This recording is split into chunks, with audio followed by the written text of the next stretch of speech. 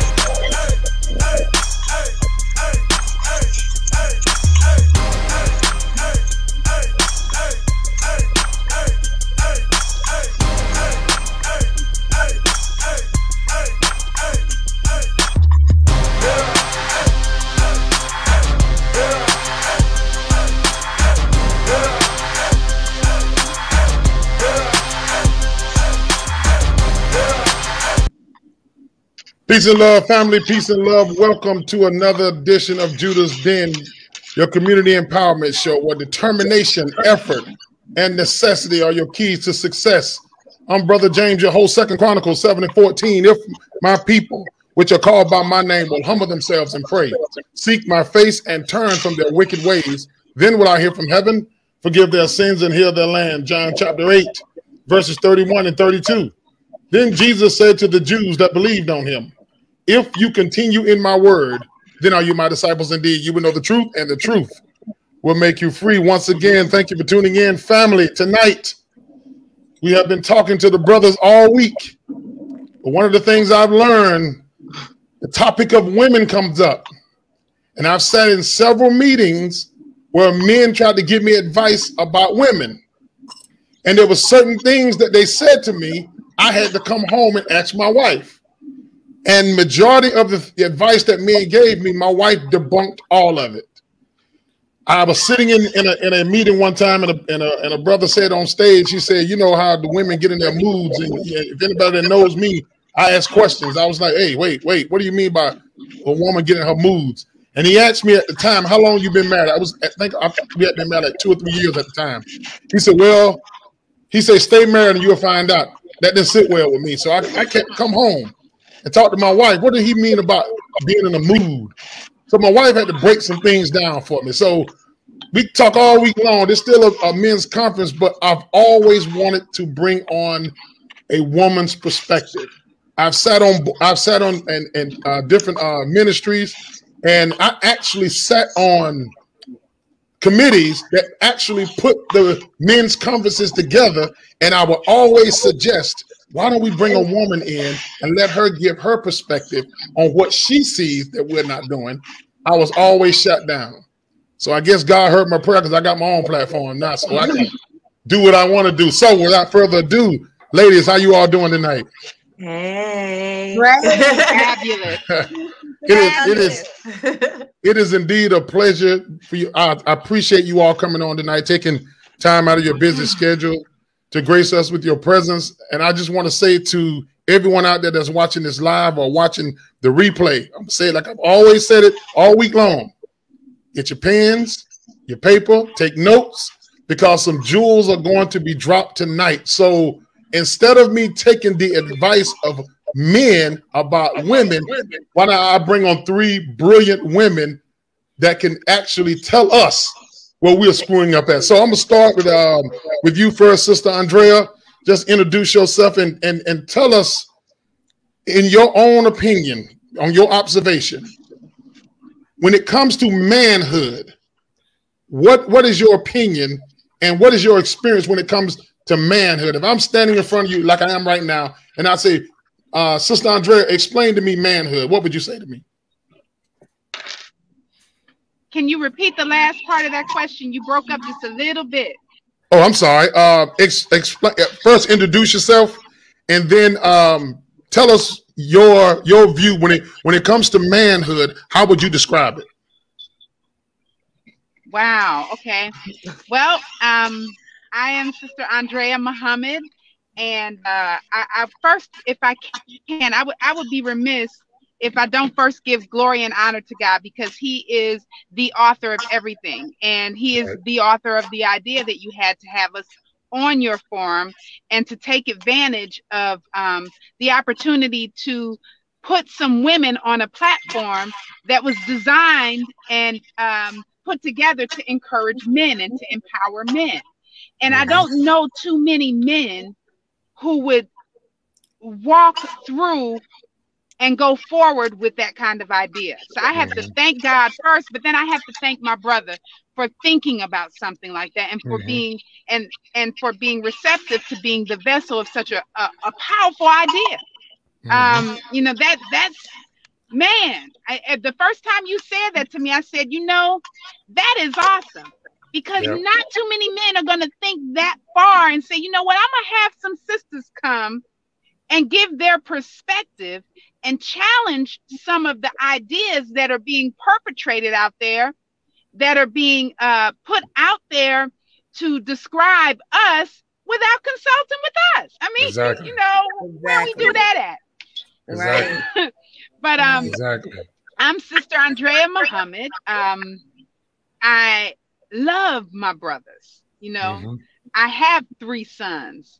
I had an excellent example of manhood in a in a, a, a phenomenal grandfather who mm-hmm. raised an equally phenomenal son who is my father you know and so when you talk about manhood i've had great examples mm-hmm. and because i had great examples i was uh, i was attracted strongly attracted to the honorable minister louis farrakhan mm-hmm. who is uh, who is my spiritual guide you know. And so when I saw him, I recognized something that I already had. And that is usually something you don't hear us who are in the Nation of Islam say. Usually you hear us say that we found something that we were looking for. But mm-hmm. I had such great men in my life, and I wanted to continue to put more great men into my life. Right. So I, I have an idea of what manhood is. And I want to apologize you all for my lighting because I'm always moving. I'm always going somewhere, coming from somewhere. But um I, I have to I have to apologize for that. My sisters are looking so lovely right there. We can see their faces. You all see me. I look like a little just light in the darkness, you know. Uh, but I, I apologize for that always see you, sister. anyway, always you always looking beautiful. Okay, and always got something awesome to say, some good information to to to, to tell, to say. You know. Exactly. Can you all hear me? Yeah. Yeah. Mm-hmm. Definitely. Yep. Okay. Can y'all hear me? So. Yeah. Yes. Okay. Yes. Okay. Good. Good. Good. Good. So um, when you when you talk about manhood and what that means to me, as I said before, I had examples. I I had a grandfather who was in the military, was a good husband, was a good father, provided for his family, supported his wife and elevated her, supported his children and elevated and empowered them, loved them, provided a spiritual foundation, a safe place to grow up with, an education, taught them how to cook, taught them how to build, taught them how to take care of money, um, took care of the community, was a pillar in the community, had a home, um, knew business, you know, knew how to give, was charitable, was humble, was neat. I have a picture of manhood. Manhood is not defined by our um, gender Mm-hmm. You are not a man because you have genitalia that says that you are male. Being mm-hmm. a man and being male are two different things. While one is required for the other, it is not a prerequisite for success in being a man. Mm-hmm. Anybody nowadays, and I hate to say this, but anybody nowadays can have that anatomy. You can right. start off as one gender nowadays and go turn into the other, but that That's does right. not mean you are successful in manhood. Mm-hmm. Mm-hmm. So when we talk about manhood, it encompasses character, spirituality, um, intelligence. It encompasses integrity, honesty, mm-hmm. trust. It encompasses love, compassion. It encompasses fatherhood even when you don't yet have children. just right. as being a woman encompasses motherhood, even when you have not yet given birth. Mm-hmm. So there are so many aspects that I think that we've gotten away from. And it's not that brothers can't recapture what everybody kind of is dismissing now. You know, we live in a society where being a man really is almost frowned upon. Right. Mm-hmm. I'm gonna let that marinate. being a real man right. is almost frowned upon. Taking care of your family, shoot, she better have a job, work two or three, and take care of you. Mm-hmm. you know, yeah. um, yeah. rearing your children, being involved in their development. I work in education. We had an open house this past weekend, and we had to thank three men who showed up because we normally see the moms. Mm-hmm.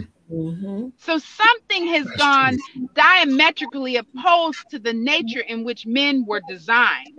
And mm-hmm. if we study God, God, He is um, emphatically the characteristic, the supreme characteristics He identifies and He epitomizes the the supreme characteristics of manhood mm-hmm. and womanhood, if you understand. That's right.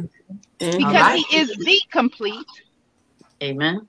But that manhood thing that he encompasses, that he exemplifies, it is being the ultimate provider, the ultimate educator, the ultimate spiritual leader, the ultimate supporter, the ultimate empowering being.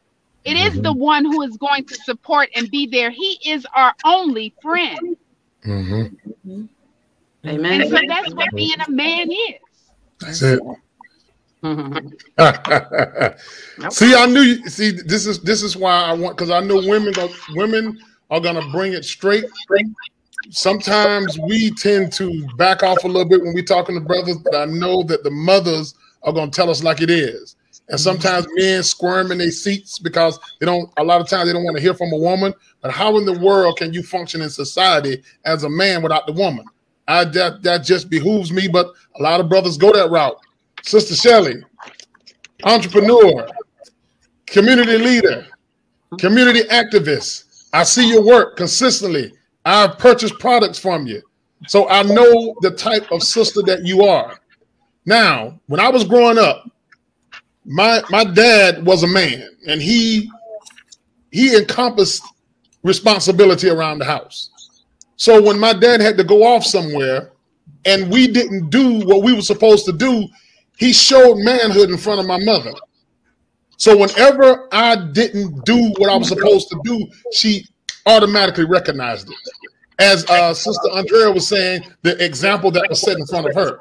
So my mother knew what a man was supposed to be. And so when I acted out of character, she knew it because it was seen in my father. So, Sister Shelley, when you think about manhood, and when it comes to a man in the home and a man in the community, what would you describe manhood to be when you when you look at men? Where is it that we are slipping that we think we got it but we actually don't have it? Where is it? What can you how can you uh, guide us back into the place where we need to be from a woman's perspective?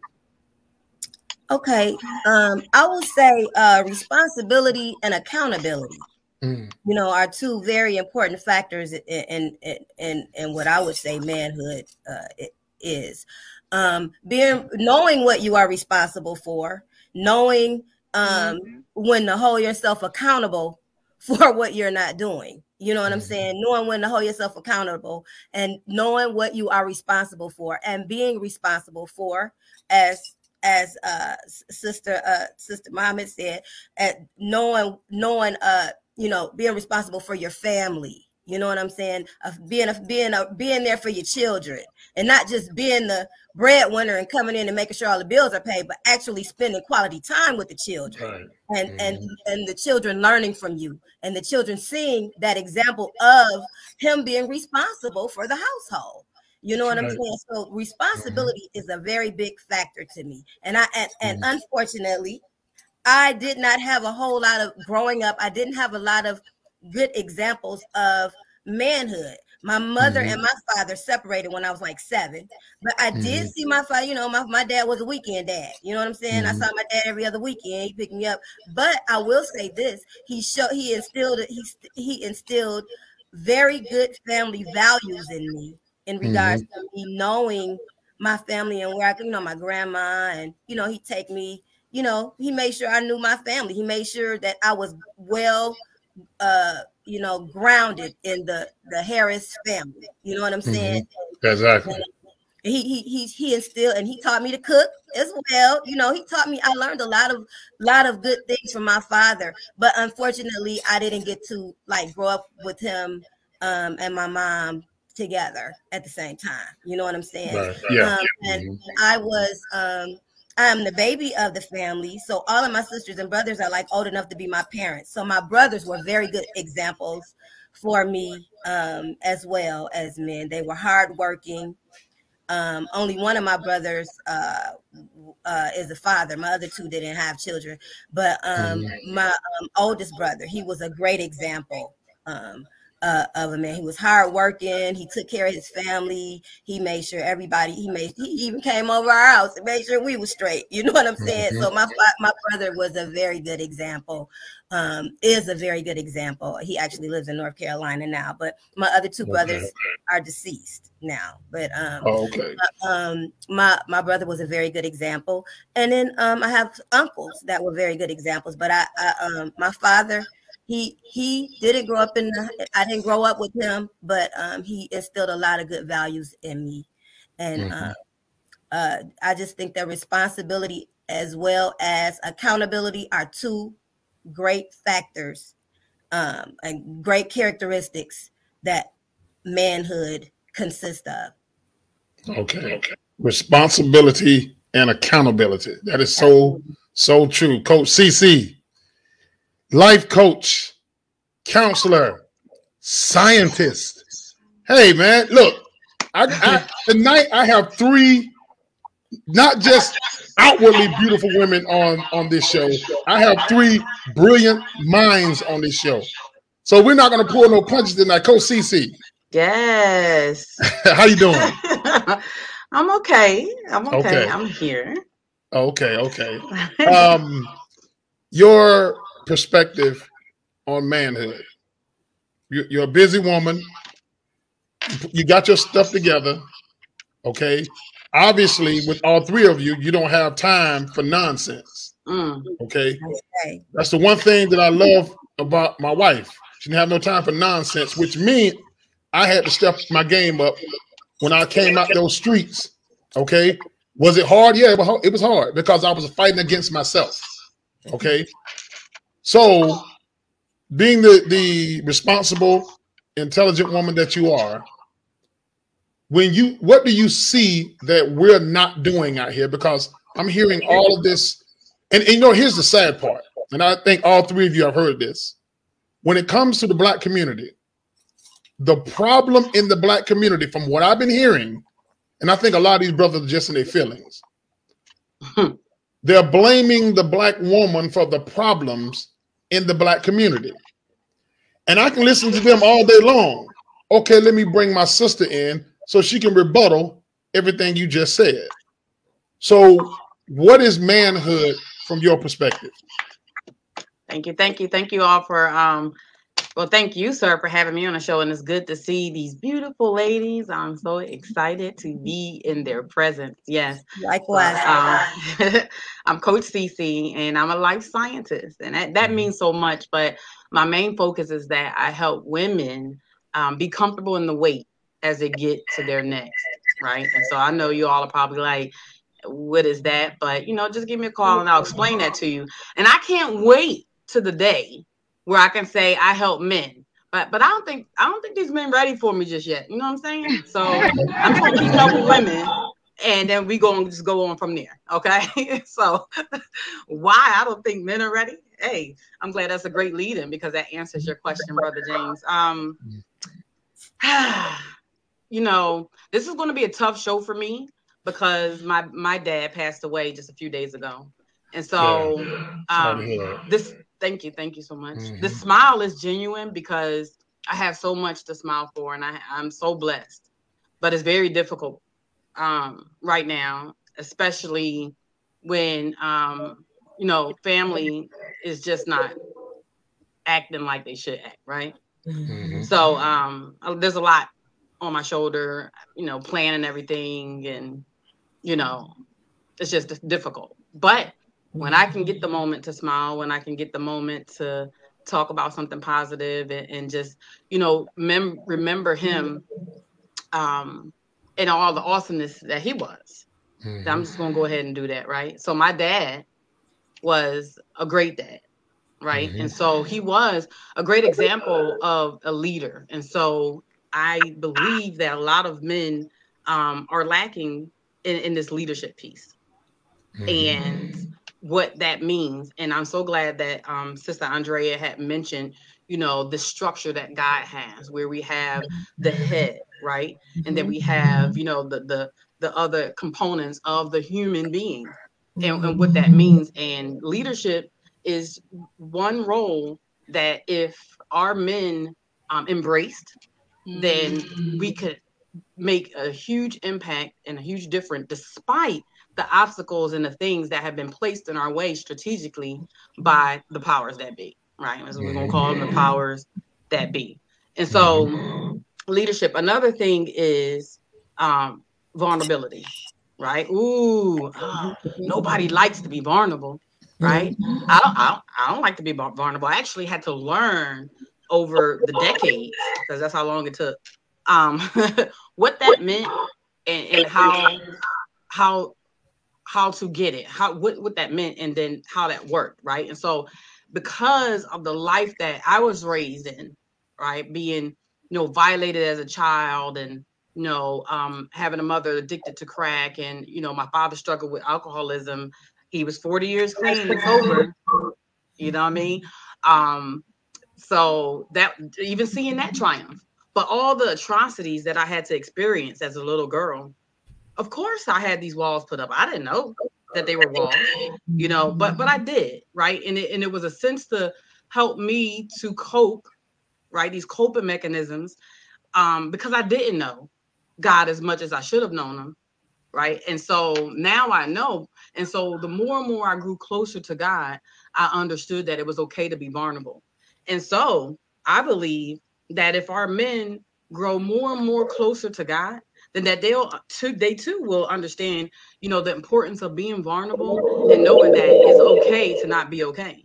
Like they you don't have to have everything all together. You have to let someone in to be able to assist you. You don't have to carry the weight of the world on your shoulders and as our brothers do because the purpose of design you know that doesn't have to happen.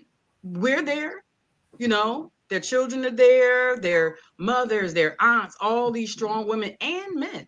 So I would love to see the the barbershops come back where men got together. That's missing too. Like mm-hmm. who are these men talking to? Men mm-hmm. mm-hmm. about us? I, you know, I sometimes, you know, I talk to my, I, I joke, but it's, I, I, I'll be serious. My girlfriends, you know, um, you know, a lot of them don't have male friends, right? And I don't get it. You know, maybe because I'm a single woman, you know, I, but I was married for 15 years. Like, look, you know, but and I still had male friends. I mean, where y'all getting y'all information from, ladies? You know what I mean? Like women, you know, but but I digress. But yes, um, I also wanted to mention that I was having a serious conversation about this the this the um the plight of the black man and where he where he may be in my life or some some of our lives or just in our communities. And you know as you probably all see the self-care thing that a lot of us women are on right? You know we, we got groups. I help women to get to be comfortable as they get to their next right? So we got i mean we are like gurus of meditation now. We we at the gym. We looking good smelling good. We are good right Um, now I'm, I'm, I'm, you know, we got issues. You know, you know, I ain't saying we're perfect, but it's a lot of that on the right uprising. And I'm saying to myself, okay, all of us is getting, all of us are trying to get it together, but then who are we going to go home to? Broken men? Like I, what? Right? right. The piece of the puzzle is that this one plus one is equal to two, but something ain't adding up, right? And so I sincerely in my heart, and this is gonna be strange for me to say because I, I love us women getting the help that we need, but I sincerely in my heart would trade us from all the things that we're doing if our counterpart could do it. it like we only had one choice of who could do it. I would rather the men do it because I know that when they fall in place, when they get it together, we together. We're gonna be all right. You know what I mean? I just need them to get it together because with that leadership, with that power and the kings that they are, oh man, we're gonna be unstoppable. So I, I would gladly trade, but you know that's living in the fantasy world right now. So. uh, Sister Andrea, uh, Coach Cece talk about. She said, "Men that are broken," and I asked I asked uh, Chaplain John this last night. So many men are carrying a lot of weight around them, and they have someone right there. Because I'll give you an example. I was carrying a lot of weight prior to Maria and I getting married. And I'm going to be honest with you, it was like several years into the marriage where I finally realized that um, I was able to get over those things I was carrying. Mm-hmm. And at that time, I felt like it wasn't fair to her for me to put that weight on her because she was carrying something too. But one of the things that I learned is I was sensitive enough to see the things that Maria was going through, and I was able to help her through it. Why is it, in your opinion, that so many of us men, and how does it damage you all when we are carrying this stuff around inside of us and we won't go seek out a Coach CC to get help? We won't go see, seek out a Coach Vaughn to get help, to talk to somebody. We won't go seek out therapists to get this get to get the help that we need. Instead, it comes out in anger. And I had said earlier this week, sometimes uh, men confuse anger with being hurt. A man will be quick to say he's angry, but less quick to say he's hurt because hurt sounds too feminine to a lot of us. So, just for the men out there right now that's listening, we us we carrying around all this weight and not allowing ourselves to get healed how is that damaging the woman that we're with? How hmm. is how is it is it possible for the woman to help us carry this weight, or is it all on the man, or how, how do you see that? That's you know that's a, a loaded question. Mm-hmm. Um, Coach Cece touched on self care and how women are on this quest, uh, especially of late, to really love ourselves. And I I feel what she said when she said if, if we had to make a choice, she would choose a man. But I think that we have to be at the point where we don't have to we don't have to feel like we have to ever make that choice. And the reason I say that is because you can't have success in the black community without both parties being repaired. We are all suffering from some sort of trauma trauma is actually, and this has been scientifically studied, trauma is actually interwoven into our DNA. No people in the annals of history have gone through and live to survive what we as Black people, Black men and women, particularly in North America, Central America, and South America, have gone through. And I include those other other um, countries because the slave trade didn't stop here. Right. It went down into South America. It in did. Brazil, you have the largest population of Black people in the diaspora other than Africa. The atrocities that we suffered, and I don't want to harp too long on slavery because I know somebody is out there thinking, well, what does that have to do with today? but the atrocities that we suffered the pain, the death, the disease, the humiliation, the dehumanization, the murder, the raping, the abuse, the sexual abuse of men, boys, women, girls, and babies, y'all. Mm-hmm. Exactly. You better say it. Exactly. To go over that for 400 years. Now, somebody's going to say, well, Flor- uh, slavery didn't last 400. Yes, it did. It did. The very first ship that came over here with slaves on it was not actually exclusively a slave ship.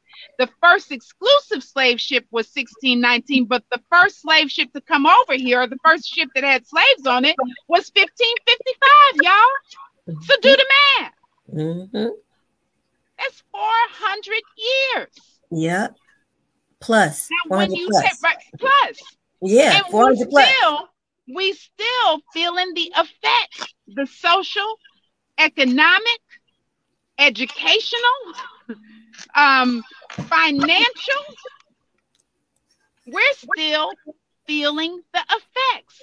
So why is it that we don't think that we were mentally damaged as well? Why is it that we don't believe that we are spiritually disconnected as well? Yeah, there's some baggage. I got baggage. He got baggage. We both got to get rid of it. We should not be carrying the baggage anymore. Right. We got to let it go. But when you don't know how to let it go, all you do is continue to pick up more items to throw in the bag. Right. I deal with children and their parents. I had a boy yesterday, good student, but he's going through something and he's been going through a lot of trauma that is cyclical. He's adopted, biological parents had trauma. The trauma continue to manifest its way the way it does in our communities and our families. You touched on being abused as a child, sis. Many of us have been abused as children in one way or another, violated sexually, physically, emotionally, verbally. Right. All of that. And abandonment from- issues. Abandonment. Right. Abandonment and issues as well. issues. But look Right. at the Abandonment. cycle, My y'all. father not being there. That's like an abandonment issue. My father not being there for me every day. You know what I'm saying? I'm just seeing him on the weekends. That's abandonment issues. You know what I'm Absolutely. saying? And we So all look at- look at look at the look at what you just pointed out black men were made to abandon their pla- family absolutely. It's They were slavery that made killed each to. other. right right Exactly. Exactly, sis. You are. You know, you hit it. You, you we got it. were You we it. were we were made to take care of other people's babies before we took care of ours We took care of our own. Mm, Hell, they mm. took our, babies. they took our babies. They took our babies once we had them. They took them right out of our arms. Soon as soon as we had them, they took them from us. listen You in know, the state of Florida during slavery, when they wanted to catch alligators, they took black babies out to those Everglades and they used them as bait. Yep. Mm. Sure. So the baggage that we're carrying is not just the baggage of our lives. We carrying 400 plus years worth of baggage, y'all. That's Even the baggage. best and most We carrying the sane baggage of our appearing ancestors. black person needs psychological help. Right. Boy came into school yesterday Absolutely. and he had a break. We write those kinds of breaks off of off as anger issues, or Mhm. he's having a real bad day, or maybe something happened at home. I talked to mom. Mom said, "This is what I've been telling you. These are the kind of anger episodes he has. That's trauma." Mhm. I told her, I said, he needs a psych evaluation Mhm. because what we saw was not normal anger. How many of our men are walking around without normal anger? Hell, we don't even know what no know what normal anger looks like. Because Right. we're not getting the help that we need. And what we're doing is, Brother James, you posed that question in such um, a thought provoking manner because you asked, should the sisters help with that baggage? See, that's part of our problem. We've been picking up that baggage too. So we're carrying the same crap. I'm he's dropping it out of his bag trying to get rid of it. I'm trying to help him, so I'm picking it up. Picking it up. You right. And so what we're right. doing is now we're in a constant struggle to try to build something, but the foundation is so weakened. Mm-hmm. We got to go to the core of it. We have to Absolutely. dig that nasty foundation up and replace it with what it was originally purposed to be. We have to continue to work at the spiritual connection, the mental expression of a strong spiritual connection, and then we have to work on that physical. You can't have one without the other. All three are mm-hmm. equally important. Absolutely. If you're spiritually strong but mentally weak, and physically strong, you're gonna you're not gonna survive. Right. If you're physically weak but spiritually strong and mentally strong, you're not gonna survive. If you're spiritually weak but mentally, you gotta have all 3 mm-hmm. And so what we do is we juggle. We work on one, drop it, go work on another, drop mm-hmm. it. In the meantime, we're picking up all this other stuff. Mm-hmm. Mm-hmm. It's okay to let it go. As Sister Sharia said, you got to get help. Mm-hmm. When we mm-hmm. listen to the brother, oh, what was his name? And I, it won't come to me right now. But he talked about mental health. This is a millionaire. Said every black person, George Fraser, Dr. George Fraser, a couple of years ago when we did the um the Zoomathon. Yeah. You know, when we did when we did it for our dear beloved sister and her cause, you know, Lady Joy, may Allah be pleased with her beautiful soul. Ashe. Ashe. You know? But when the brother was on there talking to us, and then he went into how every black person should have a therapist. This is a brother who's a millionaire. If you saw him on the street, you would not assume, based on our stigma on mental health, that mm-hmm. he sees a therapist. Mm-hmm. We go to a dentist. Hmm. Ladies, mm-hmm. don't we go to the OBGYN? Mm-hmm. And if you're not going, sisters, go. Brothers, don't you see your doctor? Absolutely. You know what I'm saying? We go to our primary care physicians. If you have any um, health issues, you go and get those things checked out mm-hmm. precautionary measures. Right, right. Get the stuff taken care of and then continue to go to maintain your sanity, to maintain mm-hmm. your health. Those of us who are in the church or the mosque or the temple, we go to those places, right? For our spiritual health. Mm-hmm. We go to the gym. Do you work out, sisters, and then stop and be like, well, I'll come back next year? No. Maintenance is all the time. It is. So Amen. even when you get it right, you gotta maintain it. So don't none of us have any right to pick up nobody else's bags and carry them. Right. Hell, we need Absolutely. to try to figure out how to help them to drop them. Unpack them together. That's you know right. Get uh, rid uh, of let's it. Unpack together. Let's yes. unpack these bags together. You know That's what I'm right. I got bags, you got bags. Let's unpack together, baby. Let's do this That's together. Right. You know That's what I'm saying? and let's, let's throw away the things that we don't need to keep. I Just because it's in the bag don't mean we need it. Listen, when you clean your house, don't you go through and say, "Oh, haven't worn this in three years. Let's get rid of it." Right. It's okay. It is. It is. It's Give it okay. you know. Right. So right. in short and long, that's my answer.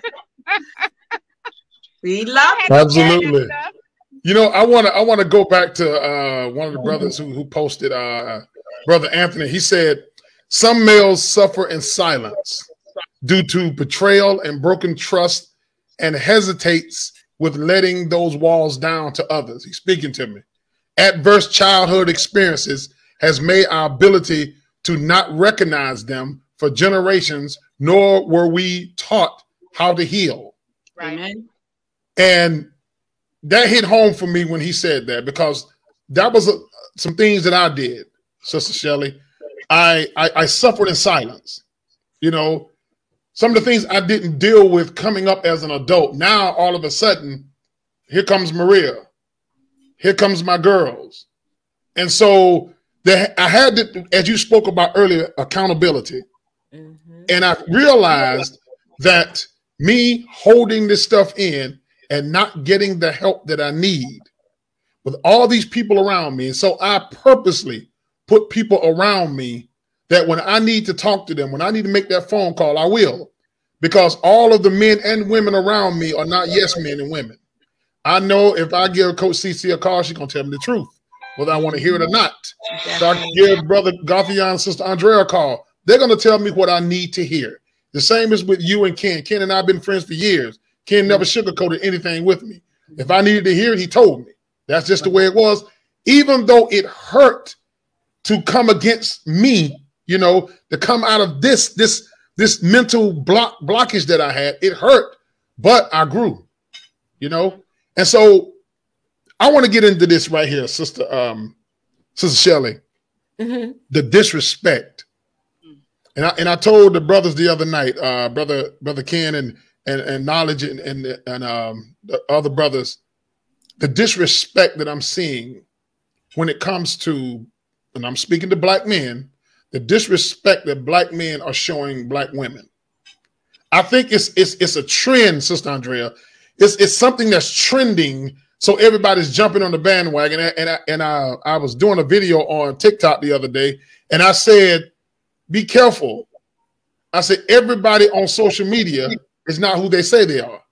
Mm-hmm. Because I'm seeing a lot of women. I mean, I'm talking about the the disrespect that we are showing our women. We call you all everything but what you are. A woman, a goddess, a queen. We use the B word. We refer to you as hoes. There are celebrities out there that have gotten rich off calling the black woman a bitch. So I need you to speak to us and all the men who are listening. And I want you, those of you out there listening, share this with a man that you know so he can hear it. Talk to us about the disrespect or how does it make you feel when a man is calling you something that you're not, you're a hardworking woman, you're a very intelligent woman, and you're doing everything you possibly can to make a living. And then here comes this gentleman that walks up, and I'm uh, I'm not even gonna call him that. And just it's like we've said this word for so long to now women call each other that. I remember I was at a I was at a house and I was I had to get into this room and the, the young lady was opening trying to open the door for him because it was stuck. And so as I stood there, and um, she she looked at me and she said, I, I guarantee I know what you're thinking. I said, What do you mean? She said, I get I bet you saying in your mind, I wish this bitch would hurry up. I said, Whoa. I said, Why would you think I'll call you that? Then her boyfriend walked out. That hit me. It hit me right there because I saw his demeanor the, the entire time I was there. So talk to us and tell us how does that make you feel when men, when we are so disrespectful to our women, when you don't, when you all definitely don't deserve it. Okay, I think she fell off. Okay, well, I'll pose that question to you, um, CC. The disrespect. I think you're on mute. I'm gonna do that again. I wasn't ready. the, the the disrespect that we show you all. Mm-hmm. You know, it's um insane you know, and the the sad truth about that is that I've gotten numb to it. Mm-hmm. And that's sad. And I shouldn't have never, I should never be, but I, we're so inundated, right? Through social media, through mass media, through all music. It's kind of like um in one ear, not the other. So I'm kind of numb to it there's moments that I get upset. Now, I'm going to super duper get upset if you call me that. Right. I've right. never been called that, um, pretty much by anyone to my face, let alone my man. What?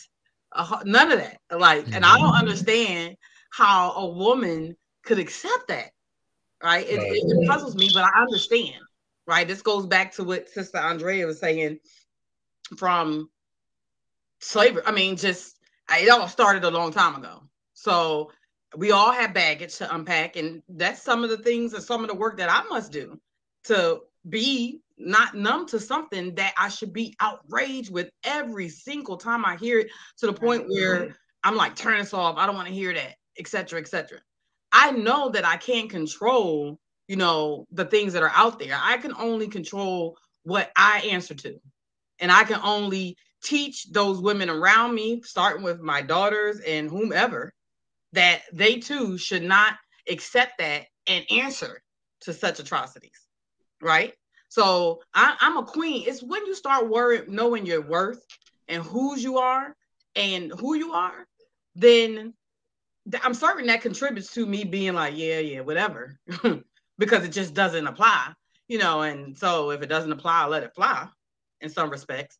But it it it has to start with that self worth and your love for yourself to to to even start to become angry at what's ever out there so yeah. James, I'm I'm glad that you you know felt the way you felt when she said that because you should. And if more men felt like that, then you know we wouldn't even. It it starts with okay, life. Okay, hold up. It's not life and death is in the power of your tongue. I've been saying the scripture all wrong all my life, y'all. I don't. I was like, I've been saying it wrong. The word says, death and life is in the power of your tongue. Death precedes because mm-hmm. the negative words that that come out of our mouth are twice as powerful as the positive ones. Mm-hmm. So we got to understand mm-hmm. that when we say those negative things, it's it's more of a beat down, and it might take two, three times those positive words to build someone back up. And so it's so important. And so when we as women and men begin to understand that, then we will start to move in another direction right? And so um you just think if you just think about that word bitch, just think about it, right? Mm-hmm. It's a female dog. Right. right? We all right, right. right. We all have, but I'm, yeah, we all been around some dogs, some real ones, you know. Mm-hmm. the bitch is the female dog in heat, right? Mm-hmm. You know, I don't know. We've all been around bitches, you know, no female dogs in heat, right? Like, it's kind of crazy, right? You'd be like, "Why she acting crazy?" You know, she just be like going up to the fence, like, hey, anybody, you know, like, are you? Mm-hmm. Is this mm-hmm. what we are calling ourselves? An animal that walk on four legs, that act crazy during a certain season just to get pregnant? Like, really, we have to understand that no matter what we think we're saying or mean by that word, it is what it is. Right. And so when you say it, words have power. That I, you can dance it up all you want. It, it is what it is, and that's what you're reducing another human being to, to an animal, to a dog, to a specific situation, and their biological clock cycle when they acting crazy, right? So you know, no. the the four agreements. One of the four. I try to live by what is known. I believe his name is Ruiz or Juan something I, I think that's his name. In the four agreements, one of them is, you know, be impeccable with your word. That's the reason that's an agreement. So we need to come into agreement with being impeccable with our word. It's ignorant when we had to substitute words because we don't know how to say anything else. Keep, say say what it is. You you acting angry. You, you're acting upset. You're acting mean. It's so many words Mm-hmm. Irritated. Vocabulary. Uh, you could say it in Spanish. You could say it in French. You could say it in Japanese. You could learn so mm-hmm. many other things besides reducing a word because you don't know what else to say. So ignorant, and you call somebody out of their names. You call that's your that's somebody's mom. That's somebody's daughter. How would you like if somebody called your mom, or your daughter, you know, one of those words, and you'd be ready to fight? That doesn't even make sense. You know, right. at the end of the day, this year I've recognized I sat there and said, we all crazy. Yep. Crazy. Mental illness. realize that we crazy. It is. and, and I think it comes out of their brokenness too. You know what Yes, I'm saying? and that's, and that's brokenness. because It comes out of their brokenness because when that's if you, okay. We if can you have no respect for yourself, you're definitely right. not going to respect anybody else. So that word can just be used so freely and frivolously. But when when they Mhm. under when you understand the reason, I mean, why they started using that word, that word was used towards women. The um the word bitch, as you know, it is a female dog. Pimps were using that word towards their prostitutes because you can train a Mhm. dog. Okay, you can Right? train dogs. keep it real. So pimps want to train their prostitutes, so that's why they started using that word. And to think the the contributions that the black woman has made to civilization as a whole, to even think you would put her and that word in the same category is just really ridiculous to me. hurt people, hurt people. You know what I'm saying? Exactly. We've made major contributions to this world. Shoot, we the reason why everybody exists. You know Right. I'm saying? So my thing That is to use that word towards a towards a black woman is just absolutely ridiculous. You know, and a lot of people don't even under, and, and, and for a female to say, Oh, I'm a boss bitch, I'm a boss bitch, I'm I'm a bad, you know, come on, man. Why would you want to be that? You know what I'm Right. saying? A, a- Right. a, a female dog can't be boss. A female dog can't Mm-mm. be Nope. you know, bad, you know. So why would you even call yourself that? And That's and that's question. where it has to stop. And you know, just like chivalry, people say chivalry is dead, but when women expect it, men have to respect it. So if you're That's gonna right. if you gonna call yourself that, what you think he gonna call you? He gonna call you the same thing you calling yourself. You know, Rosetta said that slave masters called us the B word first. Yeah. Absolutely. Listen, it, it's it's it's um it goes back to that dehumanization. right, If- right. Here's what you have to understand about um the oppressor. The oppressor understood that women are the first teachers.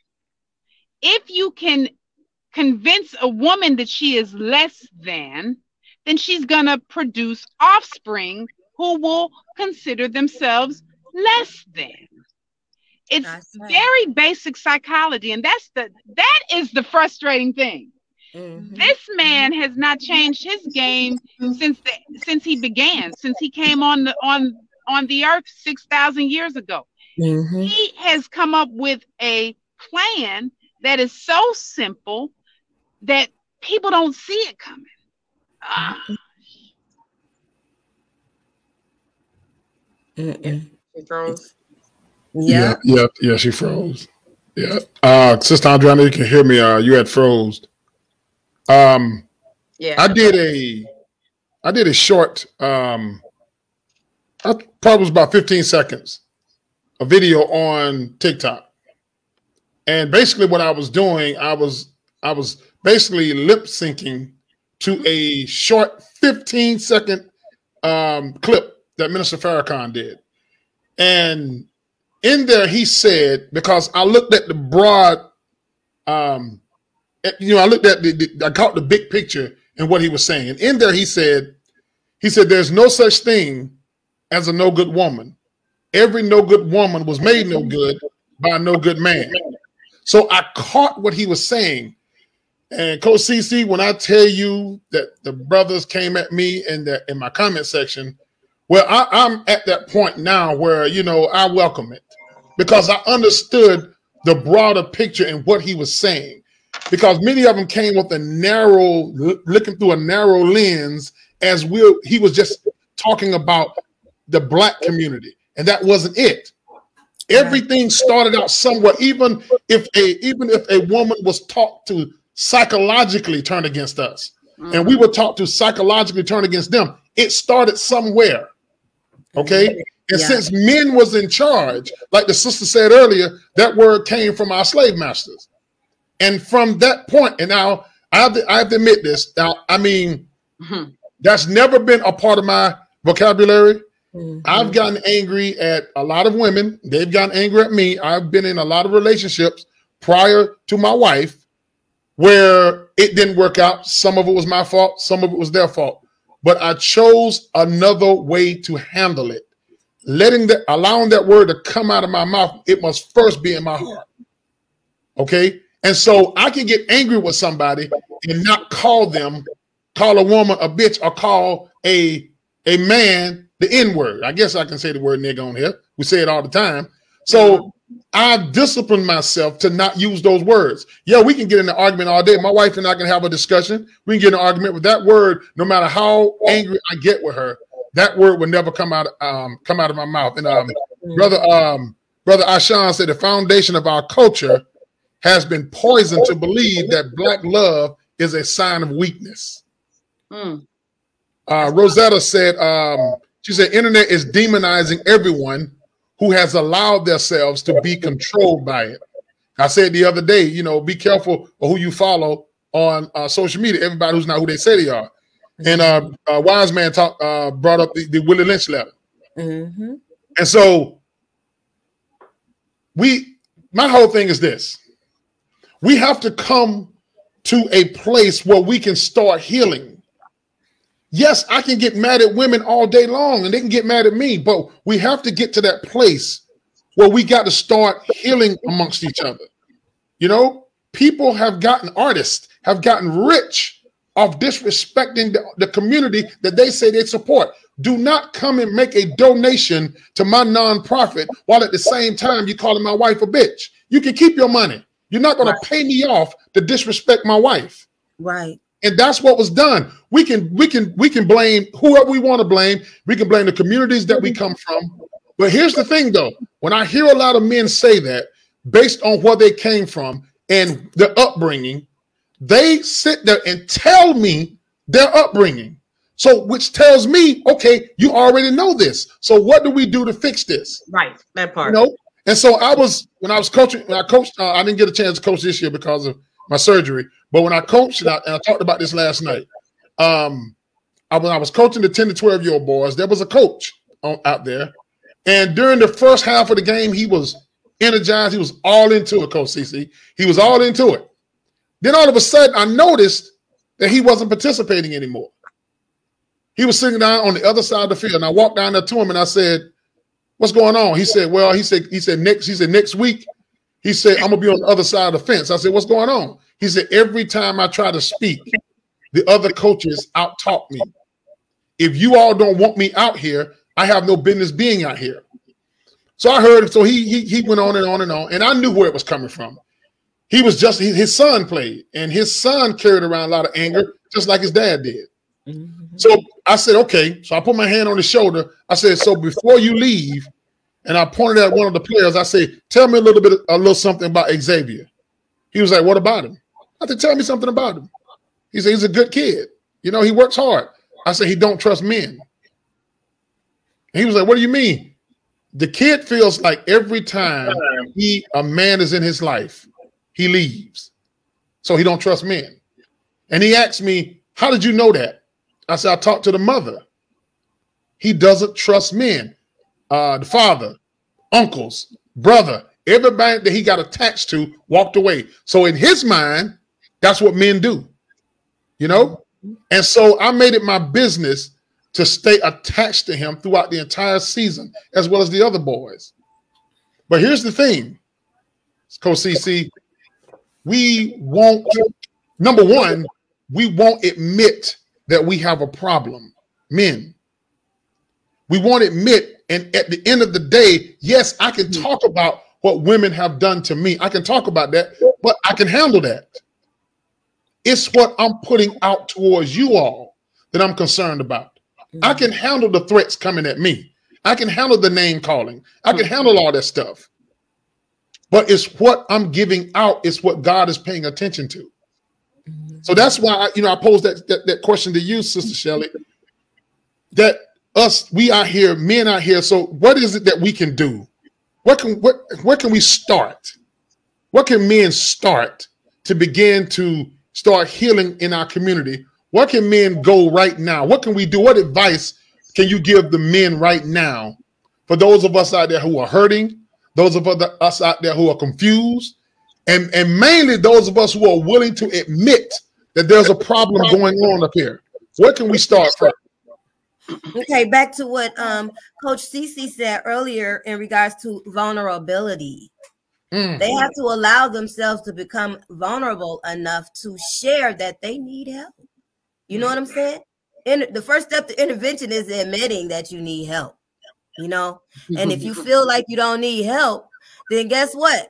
You're gonna still be locked in all that hurt and all of that trauma, and it's gonna you're gonna keep screwing it out on your kids and screwing it out on your woman and screwing it out on getting fired from jobs because you can't handle your anger and stuff like you know a lot of men lose jobs because they ha- they so angry you know mm-hmm. lose jobs all the time they get into it with everybody Getting in, get into it with somebody at the gas station somebody say something they just get you know what i'm saying because they have so much anger in them yep. that they have mm-hmm. not dealt with you know what I'm saying? So they have mm-hmm. to first allow themselves to be vulnerable enough to admit that they need some help you know mm-hmm. and and uh you know you you and i had a conversation uh a while back on one of your podcast show um in regards to what sister andrea said about the um trauma from slavery when i said at the mm-hmm. beginning of the you know the turn of the century we, we went into you know we came out of slavery and that was it we was just through through out there no help no nothing all of the people from all of the all of the, the, the descendant, even descendants of the Holocaust are still getting mental help right now. They're still seeing they and it's all paid for. You know what I'm saying? They don't think we need that. We need that. And and, and mm-hmm. she's right. It is embedded in our DNA. That that trauma is embedded. That is like generations of after generations. It's just like constant trauma, nothing but trauma, hurt, pain, rape, pillage, all kind of stuff like that, just embedded in us. You know, so a lot of the anger comes from that. You know, so right. it, it's it's just we we have to. I mean, you know, for some reason, it's been taboo or cliche in the black community to not uh to, to to see a therapist or to you know and i think that that a lot of people still stuck on that oh i ain't crazy i don't need to see nobody and you know we need mm-hmm. to get out of that we need to we need to unlearn and relearn what it is we should be doing right now because a lot of the things that we've learned our whole life is a lie it's not and that don't even apply to us. You know what i'm saying? So we have to unlearn and relearn how to be and it starts mm-hmm. with healing and admitting that you need to be healed. You know what i'm Absolutely. saying amen. Uh coach Cece, i want to um put this comment back up from my brother Ashan. Oh, I'm glad because I wrote it down because I got something to say. he said, honestly, it has to be a collective effort. But here's the part I really like what he said. He said, men need to be able to be vulnerable without judgment or being looked at as weak. Now, with that being said, it goes back to what I said earlier. Um, the day I, I can remember the day that I was really set free. I remember it. It wasn't the day that I decided to bring God in my life. I just I just knew of him. Okay? But I was still wrestling with me. I knew I knew my history, at least the, the research that I've done, but I was still wrestling with me. It wasn't until I opened up and I did what you said, I was vulnerable enough to open up to realize that there's something going on with Brother James and it's it comes out in anger, frustration. I would say these things, Sister Shelley, but I never say I was vulnerable. I would never say that I'm hurt, even though I was. But it was it was at that moment when I realized that I had some issues that I cannot and I will not rely on my wife to carry for me because I knew what she was carrying. Okay, I'll give you an example, and, and, and she know we she and I talked about it. My wife grew up without a father. Okay. I knew that. Okay. So um I could I could not become like father father to her because we was intimate. But those things that a father does by being there, okay, a father takes on that trauma. When she needs to lash out, I was there the kiss on the forehead, the hugs, being around, the holding hands, walking in, walking in the park together. These things that a daughter longed to do with their father, I knew that that was a burden that was that she was carrying, and so I was willing to be there for her. So I sacrificed everything that I was going through to be there. Not that she owed me anything back. No. But when I opened my eyes, CC, and I realized that something's not right up here, that is when I started getting the help. And that is when I start allowing men into my life that can tell me the truth about myself. Now, mm-hmm. to go back to Brother Ashan, um, yeah, he's right. You know, um, men need to be able to be vulnerable without judgment or being looked at as weak. Here was my issue with that. I wanted to be helped so bad, CC. For the first five years of our marriage, I went to about five or six men's conferences a year for the first five years because I was in search of it. One of the things that I brought out of that was tough skin. If I need help that way, so I don't, this, what's going on up here, don't affect my friendship with Shelly. So it doesn't affect my friendship with you. It doesn't affect my family. Okay. So I brought on the judgment. Judge me. Judge me. You can look at me as being weak. I didn't care. I know I needed to get this fixed. And so that is what I went and I did for myself. So, with that being said, and and my wife even commented on it. You know, she said, "You know, I love you for that." You see. Hey, and you know, and, and you know, you know the funny part about that, uh, Cole CC, uh. she, she, she didn't know I was doing it until later on in the marriage. I told her. That was one of the first time I seen my wife cry because I knew I had did a good job. Yeah, so we are I know, we're not allowing ourselves, as Shelly said. I'm holding we, back. we're not allow, allowing ourselves to be vulnerable, as uh, Sister Shelly said. But a lot of men equate that to being feminine. What is what is your take, Coach CC, on a man that allows himself to be open, on a man that will come and cry to you a, a man who will come to you and tell you, I need help. Because I did that with my wife. I need help. I'm hurting. I didn't feel like I was weak, you know, regardless of how she saw me. I didn't feel like I was weak. I was trying to get some help. And if I wanted Coach CC to stay in my life, I went and got that help so I wouldn't lose a good friend. So what do you say that say to that when you counsel men that's sitting there trying to hide that that vulnerability in them? Uh, well, you know what? So kudos to Brother King because I did write that down. Um, and I'm, I'm about to comment that in a second, but here's the definition of vulnerable, right? I'm gonna it, it's several definitions, but it says a person in need of special care, support, or protection because of you know age, disability, risk of abuse, neglect, right? I mean, mm-hmm. doesn't that sound like loving? right? Support, care, right? And that's what it is. Mm-hmm. And it's okay. We just spent I don't know how many minutes talking about why we need special care, right? right. right. So, so if anybody can be vulnerable, uh, the people that, that have the, the melanated people, we should be able to be vulnerable and be in that space. Now, mm-hmm. understand what Brother King was saying, um, because everybody wants to when they are being vulnerable, they want someone to show care. They would like the support and all those other things. So then that's twofold. One one of the folds is that when you have a relationship with your heavenly father, I mean, it's just so much I, I gotta say, but and that's a problem too because we've been looking too much at some of our earthly fathers who may not have, you know, rose to the occasion Mm-hmm. And now we have that same relationship with our heavenly father, and that is not who he is, right? So mm-hmm. that's that's the issue right there. But when we look at that, when when they can become closer and and, and know how much God loves you, then you can open up and not get the support back from man and not get the love back from man because you know that God got you back. He will never leave nor forsake you right? So you know that you know that you know that he will provide and that you have everything that you need. See, when you know that, you have less issues with becoming vulnerable. Now, what I teach men and women is, you know, when you can get to the point where something you said, brother James, where you kind of don't care what people say. Mm-hmm, mm-hmm. oh my God, you were rough. Right. That's, That's it. That's it. That's like, right. That is it. Yeah. When you like, it, it, doesn't matter. Like whether you give me the support, whether you like me or what. Because the question is, why aren't you being vulnerable? What's why? Which who are you scared right. of? Right. So anytime I get in a, a quandary in my life, right, I always say, kind of, am I going to die?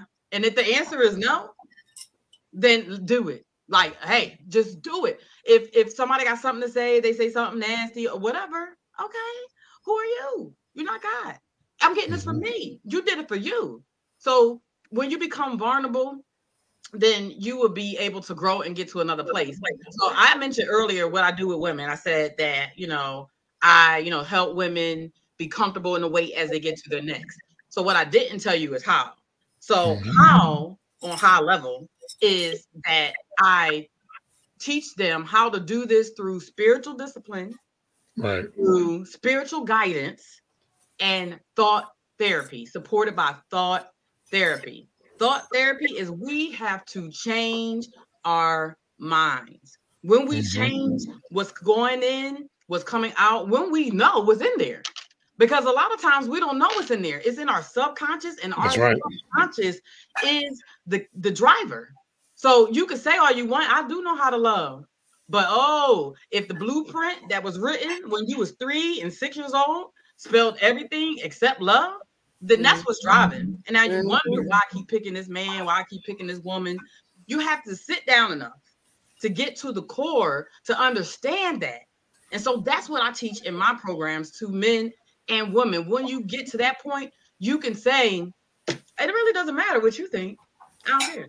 Right. And so when you right. can get to that, then you are going to explode in your life. You're going mm-hmm. to understand what the law of attraction is all about. You're going to be just attracting love, power. You're going to just be this king and this queen that you have been designed and destined to be because now you understand what it takes and it doesn't matter what nobody else says.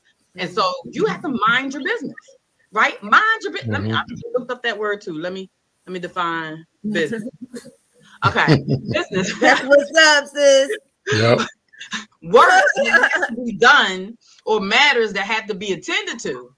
Mind your business. Do the work. Do what mm-hmm. has to be attended to. So, brother James, you did the work. You knew what had to be attended to, and you did that. And so I would have cried too. I, I right. Maria, I, because man, that touches my heart when my friends, my family, my clients get to the place where they've done the work. And, and then now mm-hmm. they're seeing the fruits of their labor. And now it's spewing over into everyone around them. Oh my God. So when you told me that, I'm, I'm ready to cry because seeds have been planted and these seeds are going to continue to grow far long after you're not here because you mm-hmm. are stopping generational curses. You know right. I mean? Absolutely. You're, you're, breaking these curses, and this is what you're doing on your show. This is what we're all of us who are represented here as women do are doing. We are keeping it real, saying, hey, what it is that we as women need, and let's tell it, let's tell it like it is. And before I go, I'm gonna tell y'all one more thing that a woman needs. Men, y'all listening? We need Starbucks. Coffee. I want I want to um, address something that uh, Linda Cruz said. She said, "I think the Western world, the oppressor, has taught us that certain words are negative when they aren't. When when they aren't, we must spiritually, emotionally, and really educate ourselves. But we mu- but we must be open to open. We must be open. Basically, we must open our mind to change. And I and I always say this, and um and I live by it. You know, even when it comes down to you know, Sister Shelly, I can say something disrespectful to you and come back tomorrow and say, I'm sorry. But then I don't do it to you anymore. I go do it to Coach CC. Mm-hmm. So really, I'm not sorry. Right. The apology meant nothing because even though I offended you, I still didn't change. I just didn't do it to you anymore, but I went and did it to Coach CC. Mm-hmm. And so I tell people all the time confession shows up in conversation. Mm-hmm. But real change shows up in behavior. Absolutely. And so I live by that. You know, confession shows up in conversation, but real change start, shows up in behavior.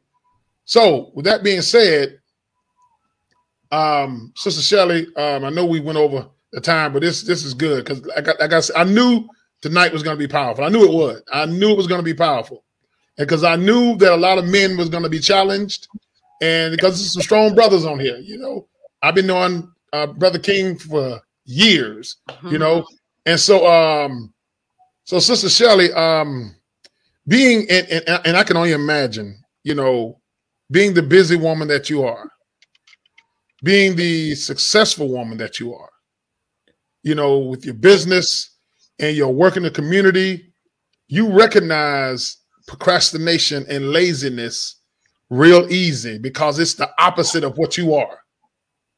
And I think that by us not going to get the help, you know, and my nephew was on earlier, and uh, me see, can I pull him back up? Um, you know, he said, uh, he said, uh, we're all, we all need help. Absolutely. I, and, and I, and I totally, I totally agree with that. We all need help. We, we all but it has to start somewhere.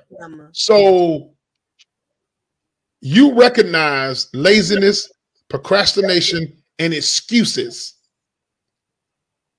because that's the opposite of who you are. Mm-hmm. The same with my mother. When we wasn't doing what we were supposed to do, she saw the tenacity, she saw the drive in our father. So when we weren't doing it, she caught it. Mm-hmm.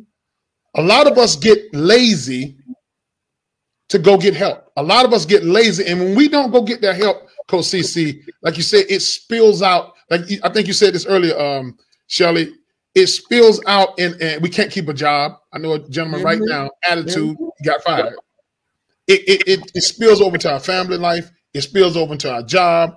It spills open to all different types of relationship. Many of us as men, so many of us as men, we should be further along than where we are right now. And I'm not necessarily talking about finances, but we can bring finances in here. But a lot of these places that we can't go, that we can't get in, is because of a lot of our attitudes, and we don't want to change. And the older we get, the more stubborn we get. Mm-hmm. Okay.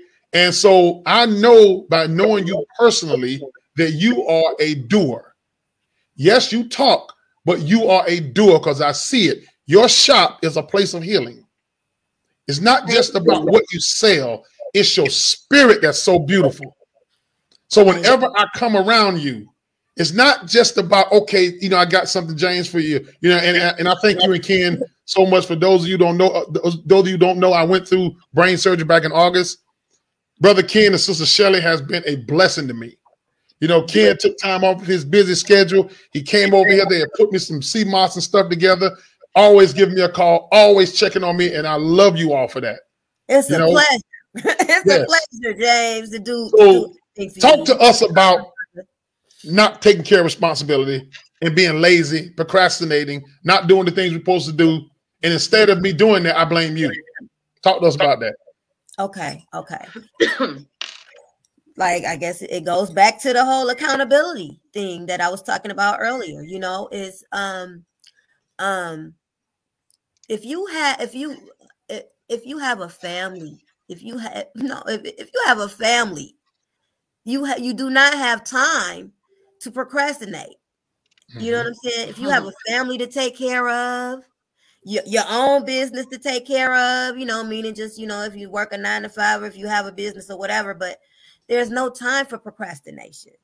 That's right. Procrastination is the thief of time. I just posted that this morning on my I just posted something about procrastination today. Procrastination is the thief of time. Time we can time is something we can't never get back. Once it's gone, it's gone. You know what I'm saying? So mm-hmm. you, you have to uh uh just really take advantage of the time that you have to do the things that you know that you know you are supposed to be doing mm-hmm. as a as a man. You know what I'm saying? So if you are responsible for you know yourself and your family, you don't have time to procrastinate. Mm-hmm. You know, procrastination means you know you really don't care about the outcome. Um, you know, your family eating or your family having a roof over their head or the children being uh, nurtured and taken care of as you know, as they should be, you know. So, um, you know, there's no time for that. Mm-hmm. And right. I think I when you when it comes to manhood, they should know a man should know that, you know, and do what needs to be done because he is the lead. He mm-hmm. is the lead. And if you're the lead, then you're leading by example. And if you're doing what you're supposed to be doing as the man, then then the, your woman is gonna follow suit. You know what I'm saying? She's gonna Absolutely. follow, and the children are, the children are as well. You know, if you're doing what you're supposed to be doing and you showing you you setting a good example, and and that's really the issue. You know what I'm saying? A lot mm-hmm. of men, a lot of men that we see today didn't have good examples. Right. You know what I'm saying? You know, they didn't see healthy relationships. They didn't grow up seeing healthy relationships. You know, if their father was there, the father may have been beating on the mama or may have been on uh, drugs. I mean, I saw a lot of that growing up. I saw a lot of families where the father or the mother may have been, um, you know, were, were, were, were addicts or something like that and and and it was just you know just dysfunction a lot of dysfunction or whatever but you know th- that you know it's it's like if he is doing everything that he's supposed to be doing the family is going to follow suit with what he's doing mm-hmm. procrastination cannot be nowhere in the vocabulary it can't be nowhere in in that you know what i'm saying we don't have no time right. we already so far as black people we already so far behind the eight ball as it is we, you know what I'm saying? So, men, black men, we have to get it together. We have to make sure we are leading by example so that the children and the and the and the woman, the your woman can follow suit. And and y'all are you you you're you're um experiencing healthy relationships. The children are mm-hmm. experiencing uh healthy childhoods. And and and um if you know you need um some mental help you need to be seeking that. You know what I'm saying? And mm-hmm. and and expressing that to your mate. Look, you know, I need to. I think I need to talk to somebody. You know, express that to your mate. You know, and and it's that that's just all it is to it. Just being accountable, being accountable, mm-hmm. and being responsible for what it is you know you need to be doing as the lead, as the man. Mm-hmm. You know what I'm saying? Yep. And, and and I could have posed that question to all three of you because all three of you are busy women. And Sister Andrea, I wasn't going anywhere until you came back. I knew you were coming back.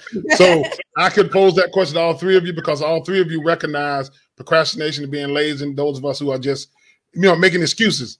I want to um, hmm. two comments that my my brother Ashan said. He said sometimes looking in the mirror is the scariest view some people will see. Man, he's speaking to me. Uh-huh. I didn't want uh, brother Garthia and I going we're gonna we're gonna really dig into this uh, tomorrow night. And and uh, I go down and he also said, he said, now now notice now, brother Ashan said, looking in the mirror is one of the most scariest views. But here's the thing, mm-hmm. he said, I took my trauma and turned it into my children's triumph. Mm. He had a bigger vision. It wasn't about him, regardless of what he had to carry. He would not allow his children to carry that same weight. He wouldn't allow, well, I wouldn't say the same weight. He wouldn't allow, he wouldn't allow the, the, the, the pressure that was on him to be spilled out. Like I told you earlier, because I refused to look in here and see the problem, my girls and my wife, now it was never any physical, mental, or any spiritual abuse ever. But they knew that that was something going on with me. You know, I would get angry about something. I would always point the finger. It's their fault. It's their fault. And I remember being told one time, and I think uh, Chapman John told me this. He said, even if you're right, even if it is their fault, what are you going to do about it? Nope, I'll take that back. That's what my wife told me. My wife told me that. She said, even if you're right with everything that you're saying, what are you going to do about it? That's good. How is that going to affect us today? Right. Sister Andrea, I tell you, I didn't want to hear that. I didn't want to hear that. I wanted to be angry. I wanted to be mad, mm-hmm. and my wife was giving me every excuse to come out of that. You know, every my wife was giving me uh, the help to come out of that, but I wanted to stay there. I wanted to be around people that would tell me it's okay. You all right, James? I didn't want them to go. I didn't want to get on the phone and call Coach Cece. No, I did not want that because she was going to tell me how to heal. I did not want to heal. I got comfortable in my mess, and I wanted to stay there.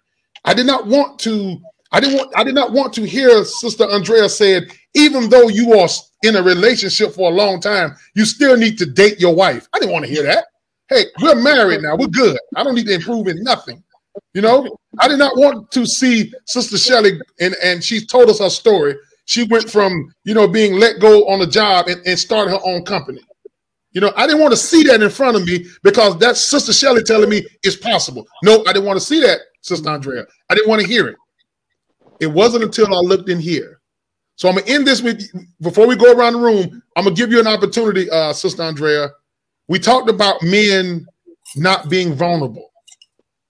We talked about men not opening up.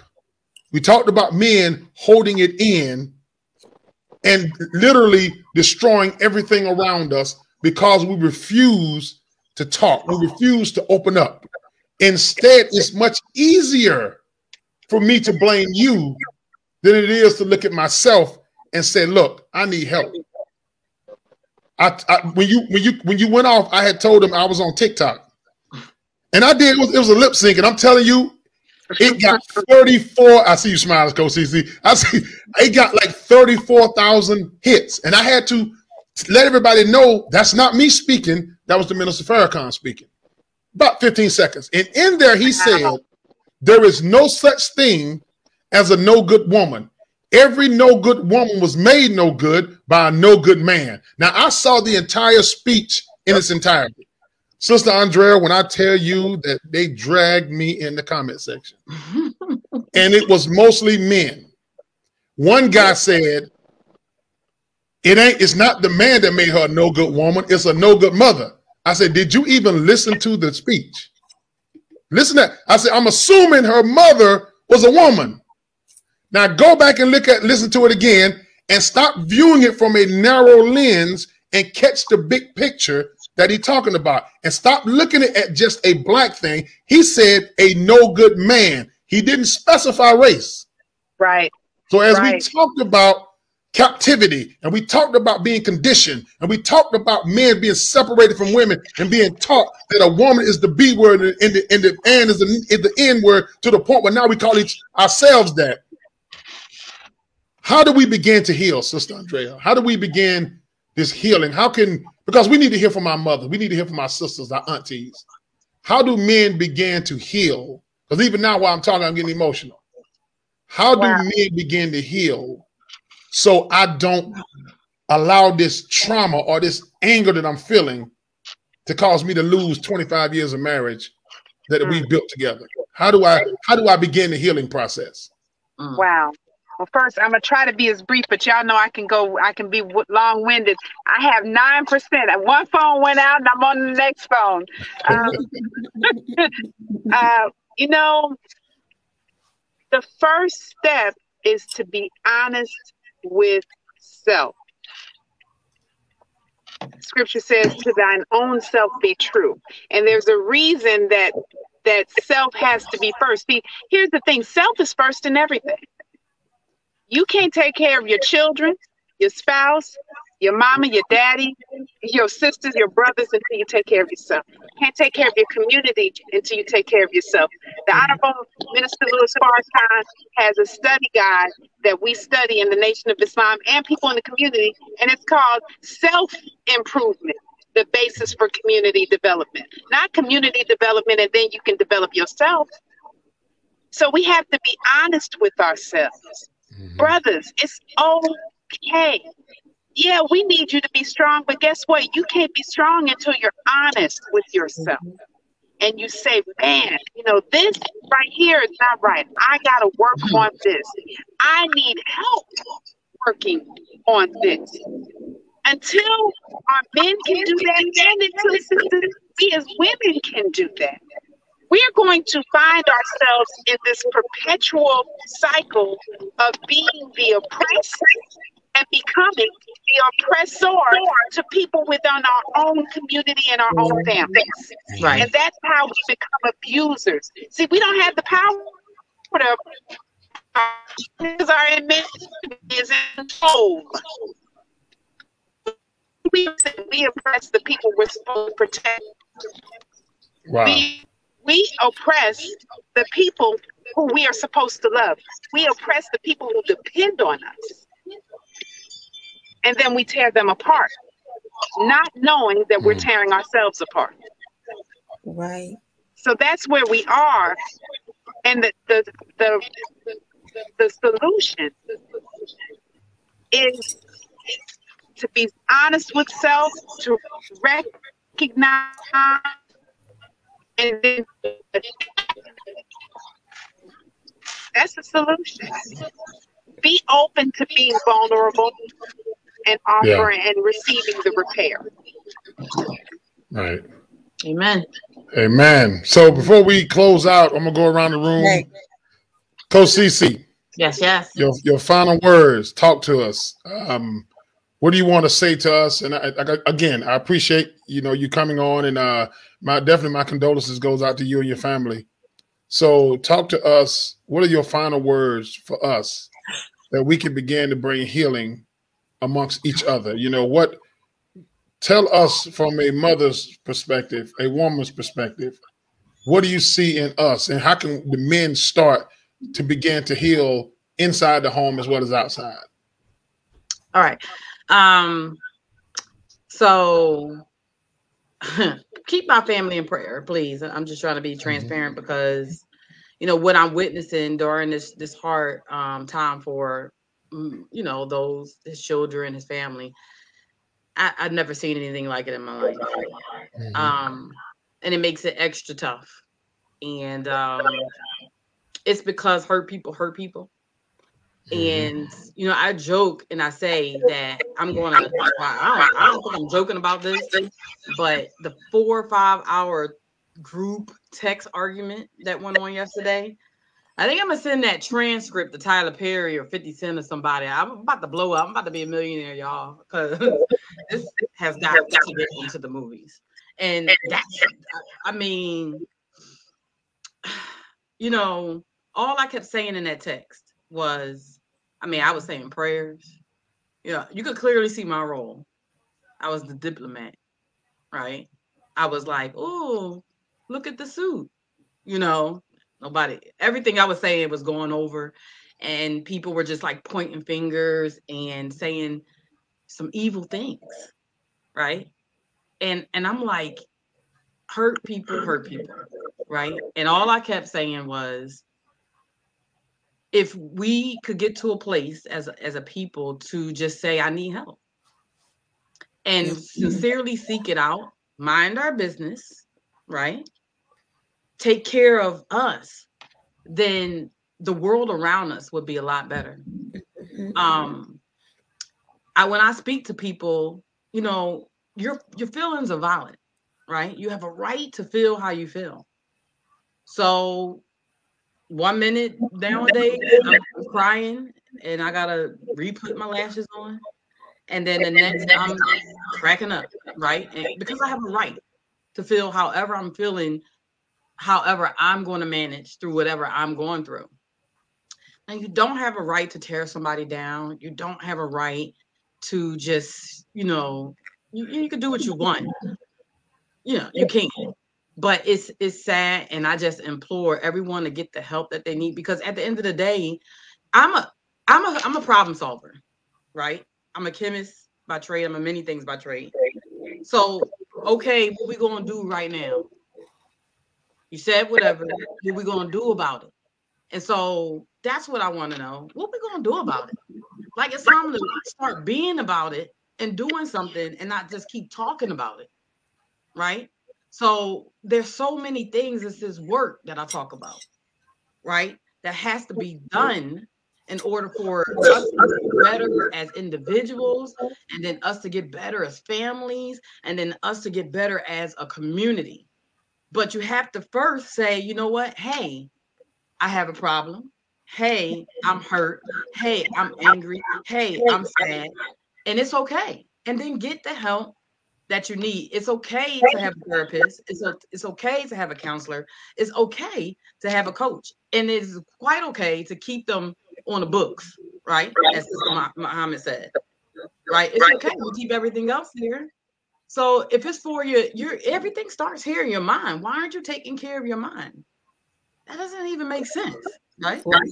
So that's that's the final words that I have to say, you know, I like to leave people with my www slam, which is, you know, in the beginning, everything starts with a word, right? And then with that word, there's a want. But in order to get what you desire, you have to do the work. You mm-hmm. have to do the work. So I, that's what I want to leave you all with. You're on mute. So, how will people get in touch with you? Yeah, absolutely. So, um, Facebook under Sharia Williams also have a, a, program group for women only. Is the Life as You program group. I also have a, a, page, fan page called Life as You, and you can reach me uh, in my email sharia.williams at lifeasyou.org, and you can hit me up in the inbox as well. And so I welcome if anybody needs any assistance during this um, holiday time, during this, this this this trying season, or any time you know, you could just give me a call and I'll be happy to talk with you. Amen. Amen. Sister Shelly, your final words. Um, just you know, um, just the, the whole mental health is an issue, you know, and that that that uh we we just really need to start admitting that and being vulnerable enough to admit that and seeking the help that we genuinely need, you know. Um, all of us are suffering from some kind of trauma, you know. And just like Sister uh, Muhammad said, um, it is embedded in our DNA because it's so many, so many generations and generations and years and years, hundreds of years of mm-hmm. trauma that we, you know, our ancestors have, you know, suffered from, and we, we, we have the, you know, we, we carrying the the bulk of the weight now. You know, we can't, we mm-hmm. still carrying it. So um, I think it's imperative that we um, recognize that when there is an issue like that because it it, it does it, it it spills off into our relationships it spills off into our professional life it it, it affects the children you know mm-hmm. and um i will say this i have been seeing in regards to what i what i'm seeing you know on social media and and um you know a lot of like personal you know friends of mine. There's a shift there's definitely a shift happening where people are um understanding that mental health is important. And and they're not looking at it as a bad thing anymore. It's just that you know and they're actually taking advantage of um some of the resources that they have you know, to to get the help that they need. So um that's that's definitely, you know, a, a very uh important factor in just building healthy relationships because if you know you can eat the kale you can drink the alkaline water you can exercise every day you can wear your crystals around your neck but if you ain't dealing with that stuff that's going on in your head you Come are on, not well you're not well you're not well Okay. So we need to be taking care of that so we can be the people we need to be for our families, for our communities, you know. And um, I think that's all I have. So tell everyone, and if you can, uh, put it in the comment section. How can they get in touch with you? Okay, um, you can reach me at uh, Sun Goddess underscore sense on IG, Sun Goddess dot sense on IG, um, Sun Goddess Sense like page on Facebook, and um, my uh, my phone number is 404-434-7963 and the address to the store is 4140 Jonesboro Road, booth 225 in Forest Park inside the International Discount Mall. Okay, give that number one more time. My phone number Mm-hmm. 404 434 7963. And if you know, if you're interested in anything or whatever, just text me and let me know what it is you need in regards to, you know, healthy, um, healthy skincare, uh, therapeutic bath salts, um, you know, black seed oil, sea moss, stuff like that. So just, you know, text me and I get you together. Meet me at the store and I have it for you. Man, and trust me, she will. Trust me. She will. And um, uh, Sister Shelly, I really, uh, I really appreciate it. I really appreciate you um, taking time out of your your busy schedule to come on. And I always love having you on. I really, I really appreciate you and Brother Ken. I really do, and I thank you so much. No problem, problem, brother James. I thank you for having me, and um, I appreciate being here with these two beautiful sisters. It's always a pleasure. Likewise. It's always a pleasure, Sister Muhammad. and uh, Pleasure is mine. The honor. Amen. nice meeting you, Sister CC. I'm sure we will be, uh, you know, seeing each other again. Absolutely. Absolutely. Uh, Sister Andrea, final words.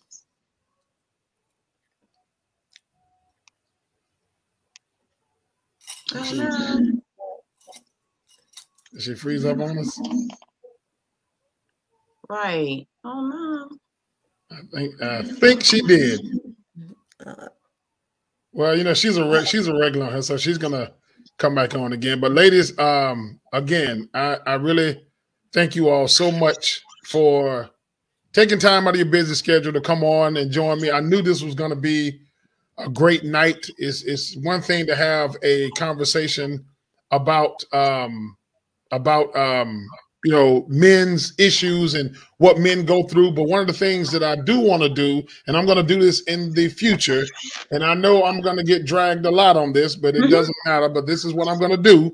I am going to start showcasing more men out there who are actually getting things done. More relationships that are getting things done. More women that are getting things done. And that is what i'm going to use my platform for whether it's here, whether it's on uh, any other social media site, because all we're seeing is the disconnect amongst us. And so when men begin to understand that if we go and get the help, even if you even if you don't seek out a coach, I think it was one of you that talked about, I think it was you, Coach CC, talked about the barbershop. mhm. Get back in the presence of some men who can actually put something in you. Just the other night when Brother Ken then was on, they gave me a task to go get this book, you know, and so I got to go get that book, you know. I got to get the book, and I also got to start reading because these brothers talking about uh, having quizzes and all these things. Whatever I got to do to better myself as a man, that is what I'm going to start doing, you know. And so, as far as the the hate and the uh, the criticism, the judgment, that don't that stuff don't bother me. I left that I left that alone a long time ago, you know, because I feel like okay, I got girls, I got girls, so my girls can't see me falling apart.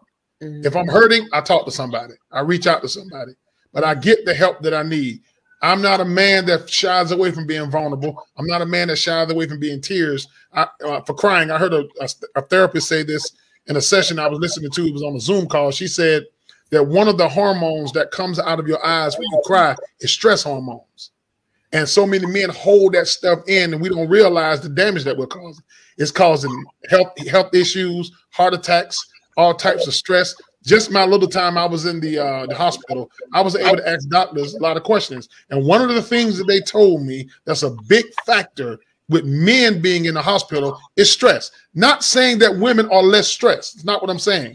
But, but one thing about women, at least majority of women, they go get the help that they need. They have their girls' night out. They have their conferences. It just the other night, um, there was a conference on with um, Taraji P. Henson where she was talking about mental health. Okay. And so that's a discussion that all of us need to have as men. We need to have that. And so, again, ladies, I appreciate all of you for, for coming on tonight. I appreciate everybody who watched this live show, whether you're watching live, watching the replay. I really do appreciate it. Tomorrow night at eight o'clock, I will have on Garthian Muhammad, the, the husband of Andrea Muhammad. She may come on with him. You know, maybe we'll see. We'll see how that goes, however he wants to do it. But it's just going to be a powerful night. So, ladies, I really, really appreciate. And I thank both of you.